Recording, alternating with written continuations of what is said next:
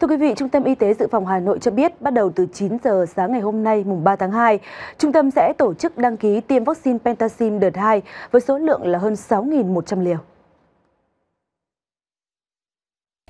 Đợt vaccine 5 trong 1 Pentasim lần này tại Hà Nội có gần 29.000 liều, trong đó Trung tâm Y tế Dự phòng Hà Nội được phân bổ số lượng lớn nhất, gần 5.600 liều, cộng với hơn 500 liều còn lại trong đợt tiêm tháng 12 năm 2015. Để đảm bảo công khai tránh chen lấn, Trung tâm Y tế Dự phòng tổ chức đăng ký trực tuyến qua website http 2 gạch chéo www itdp hà nội